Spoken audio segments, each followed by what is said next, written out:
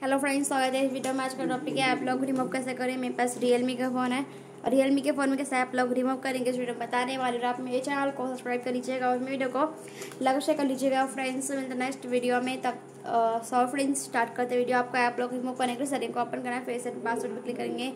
App lock पर click करेंगे और लॉक ओपन करेंगे और यहाँ पर आपको इसको ओपन करना है। इस पर क्लिक करेंगे लॉक ओपन करेंगे।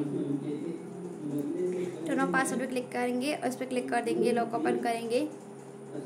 फिर आपका जो है ऐप लॉक रिमूव हो जाएगा। ऐसे अपने फ़ोन जो ऐप लॉक रिमूव करेंगे। फ्रेंड्स आप प्लीज़ मेरे चैनल को सब्सक्राइब कर लीजिएगा। फ्रेंड्स मिलते हैं नेक्स्ट वीडियो में। तब तक ले नमस्कार।